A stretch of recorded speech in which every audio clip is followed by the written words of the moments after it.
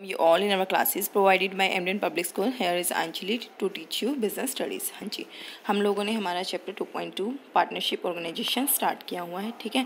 जिसमें हमने कुछ बेसिक सी चीज़ें और इसके स्टेचुरी फीचर पढ़े थे, ठीक है? आज हम इसका पहले शॉर्ट रिविज़न लेंगे, फिर इसके जो जनरल फीचर्स बचे हुए हैं, वो हम करेंगे, ठीक है?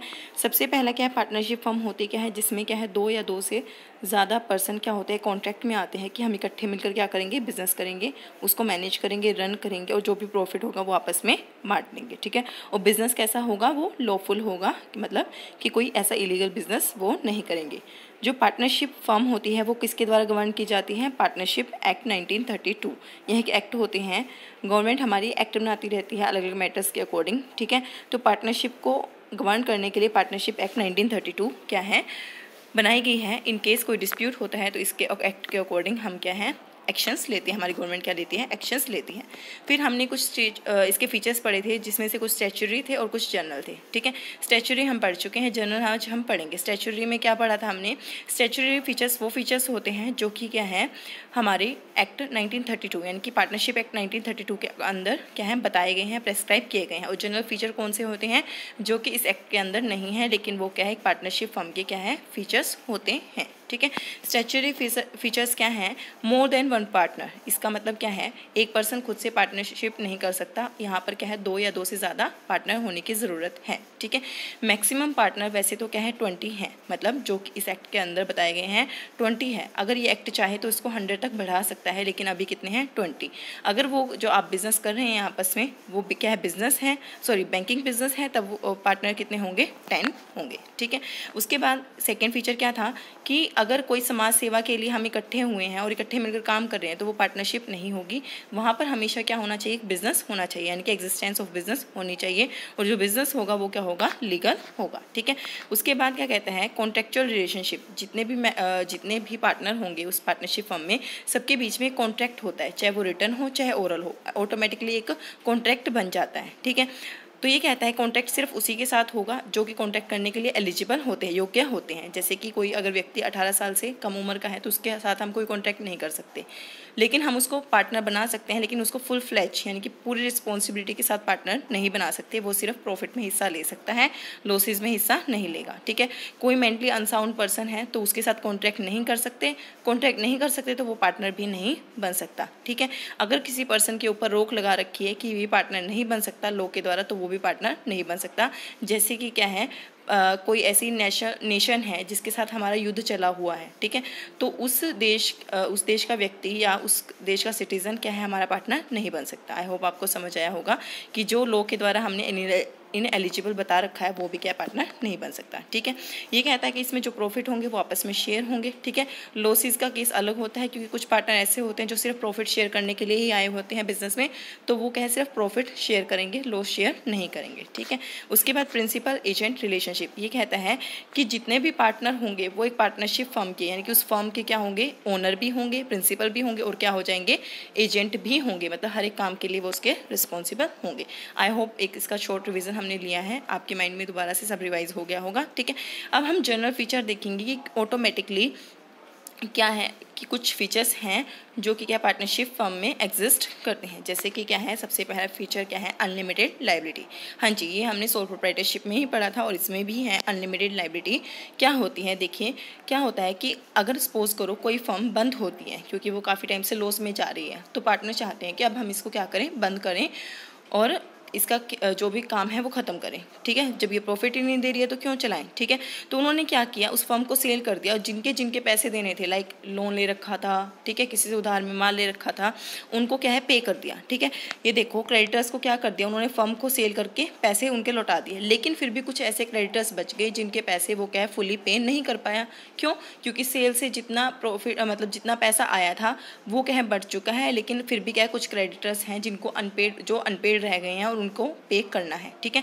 तो उस केस में वो क्रेडिटर ए बी सी तीनों के पास जाएँगे, कहेंगे कि हमारा पैसा दो तो उस केस में ए बी सी को चाहे अपने घर से उठाकर उनको पैसा देना पड़े, अपनी कोई पर्सनल असेट्स को बेचकर उनको पैसा देना पड़े, लेकिन उनको वो पैसा पे करना पड़ेगा, ठीक है? ये देखिए ए बी सी की साइड क्या है? पर्सनल असेट्स है, ठीक है? अगर क्रेडिटर का पैसा पूरा नहीं होता है तो इन केस में क्या करेंगे? वो इस केस में ए बी सी के पास जाएँगे, फिर ए बी सी को उनको पैसा देना पड़ेगा, चाहे फिर वो अपने पर्सनल एसेट से ला कर दे, ठीक है? अपने घर से ला कर दे। आई होप आपको समझ आएगा, ठीक है?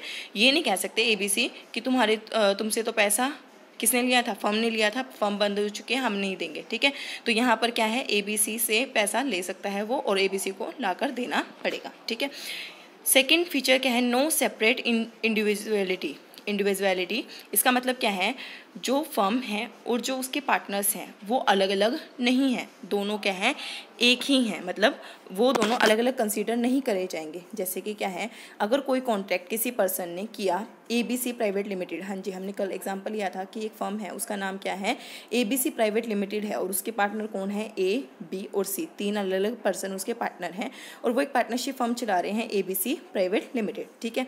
उसमें क्या हुआ? A B C private limited ने कॉन्ट्रैक्ट किया किसी और थर्ड पर्सन के साथ, ठीक है?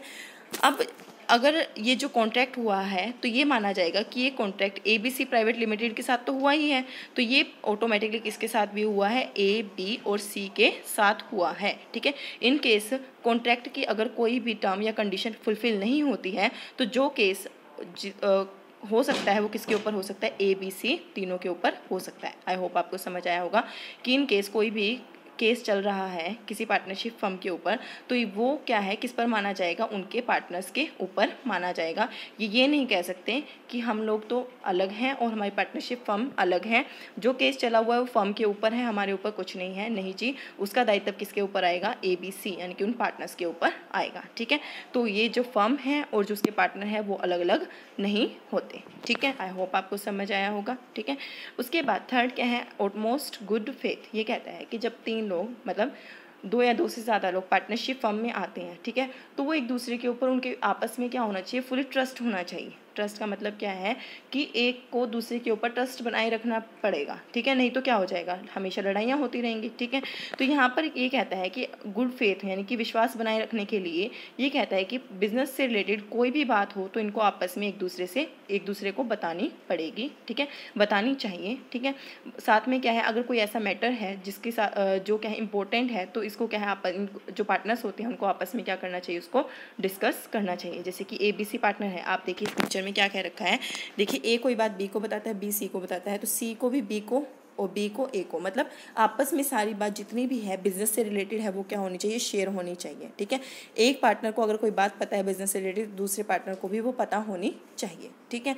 तो ये कहता है कि आपस में उनके ऊपर विश्वास होना चाहिए। विश्वास बनाए रखने के लिए क्या होना चाहिए? कि सबको बिज़नेस से रिलेटेड सभी बातों के बारे में पता होना चाहिए, ठीक है?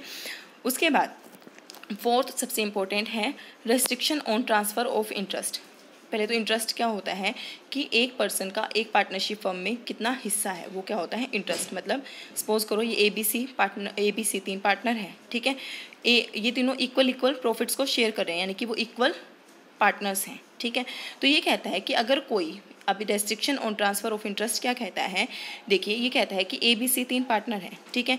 बी चाहता है कि उसका भाई भी इस पार्टनरशिप फर्म में आ जाए। डी उसका भाई है।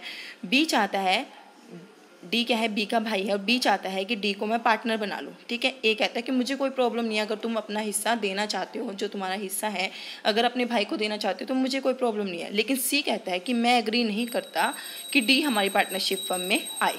ठीक है? तो इस केस में डी क्या है? पार्टनरशिप फर्म में एंट्री नहीं कर सकता। इसका मतलब क्या है? अगर कोई पर्सन अगर कोई पार्टनर अपना इंटरेस्ट किसी को ट्रांसफ़र करना चाहता है, लेकिन अगर कोई दूसरा पार्टनर उस इंटरेस्ट को ट्रांसफ़र करने देना नहीं चाहता है मतलब वो नहीं चाहता कि कोई दूसरा कोई और पर्सन भी पार्टनरशिप फर्म में आए तो वो उसको ऐसे रोक सकता है। यानी कि अगर किसी को पार्टनरशिप फर्म में पार्टनर बनना है तो उस केस में सभी पार्टनर्स की सहमति होनी ज़रूरी है। ठीक है? अब देखो नेक्स्ट केस क्या है? ए बी सी तीन पार्टनर हैं। डी बी का भाई कौन है? डी डी बी चाहता है कि डी को पार्टनरशिप फर्म में ले आऊँ। ठीक है? ए तो पहले ही एग्री हो चुका था। ठीक है? अब यहाँ पर सी भी एग्री हो गया। ठीक है? तो इस केस में ए डी क्या है? ए बी सी लिमिटेड का क्या बन जाएगा? पार्टनर बन जाएगा, अगर वो बनना चाहता है। ठीक है? सिंपल सा मीनिंग ये है, जब तक कि सारे पार्टनर राज़ी ना हो जाएँ, तब तक कोई नया पर्सन क्या है? पार्ट पार्टनरशिप फर्म में पार्टनर नहीं बन सकता, ठीक है? जब क्या है सभी पार्टनर सहमत हो जाते हैं, तब क्या है कोई भी पर्सन क्या है बन सकता है। आई होप आपको समझ आया होगा, ठीक है? उसके बाद इसके चार ही फीचर्स दिए गए थे मेनली ठीक है? एक टूल किट में एक अलग से एक पॉइंट दिया हुआ है जो इसके फीचर जैसा ही है, इसलिए क्या है मैंने इसको एक्सप्लेन किया है, ठीक है? Only individual as a partner ये कहता है कि सिर्फ़ एक व्यक्ति ही पार्टनर बन सकता है। इस लाइन का मतलब क्या है? देखिए A B C private limited है, दूसरी जगह X Y Z private limited है, ठीक है? ए बी सी में जो मेंबर्स हैं, उनका नाम है ए बी सी यानी कि तीन पार्टनर इसमें काम कर रहे हैं और एक्स वाई जेड लिमिटेड में कौन कौन पार्टनर है? एक्स वाई जेड है, ठीक है? एक्स वाई जेड ठीक है? अब देखिए ए बी सी लिमिटेड क्या है? कौन कौन चला रहा है? ए बी सी तीन पर्सन चलाए हुए हैं, ठीक है? अब ये चाहते हैं कि एक्स वाई जेड को हम पार्टनर बना लें, यानी कि X Y Z private limited को पार्टनर बना लें, ठीक है? और एक्स वाई जेड भी पार्टनर बनना चाहती है, यानी कि प्राइवेट लिमिटेड जो एक कंपनी है दूसरी, वो क्या पार्टनर बनना चाहती है?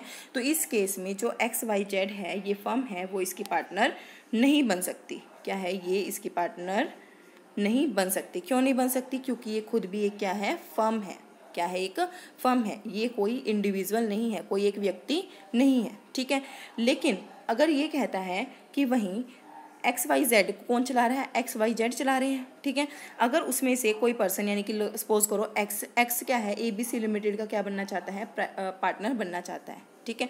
तो इस केस में जो एक्स है, वो उसका पार्टनर बन सकता है। किसका? ए बी सी लिमिटेड का। क्यों? क्योंकि वो क्या है? व्यक्ति है, ठीक है? तो सिंपल सी बात ये है कि सिर्फ़ एक व्यक्ति ही क्या है? किसी पार्टनरशिप फर्म में पार्टनर बन सकता है। कोई एक फर्म दूसरी फर्म का पार्टनर नहीं बन सकती ठीक है? एक तरफ़ ए बी सी लिमिटेड है और एक तरफ़ एक्स वाई जेड लिमिटेड है। ठीक है? ए बी सी के पार्टनर कौन है? ए बी सी ठीक है? लेकिन उसकी पार्टनर अगर X Y Z private limited बनना चाहे तो नहीं बन सकते, लेकिन एक्स बनना चाहता है तो वो बन सकता है। आई जस्ट होप आपको समझ आया होगा। ठीक है? एक बार विजन ले लेते हैं।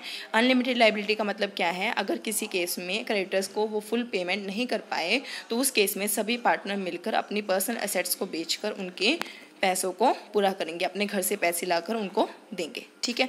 उसके बाद नो सेपरेट इंडिविजुअलिटी इसका मतलब क्या है? अगर कोई कॉन्ट्रैक्ट फर्म के साथ होता है तो ये माना जाएगा कि वो कॉन्ट्रैक्ट सभी पार्टनर के साथ मिलकर हुआ है, ठीक है? इन केस कॉन्ट्रैक्ट में कोई डिफ़ॉल्ट होता है तो ये नहीं कह सकते कि सिर्फ़ फर्म के ऊपर केस चलेगा, वो केस किसके होगा, ऊपर होगा? ए बी सी मतलब सभी पार्टनर्स के ऊपर होगा, ठीक है? बट मोस्ट गुड फेथ ये कहता है कि हर एक पार्टनर का पूरा राइट होता है कि उसको पार्टनरशिप फर्म के बारे में हर बात का पता हो, ठीक है? तो इसका मतलब क्या है? सभी को एक दूसरे को हर एक बात बतानी चाहिए, किससे रिलेटेड पार्ट सॉरी फर्म से रिलेटेड ठीक है? ये फोर्थ है restriction on transfer of interest ये कहता है कि कोई भी व्यक्ति अपनी मर्ज़ी से अपना इंटरेस्ट किसी और को नहीं दे सकता मतलब अपना शेयर किसी को ट्रांसफ़र नहीं कर सकता।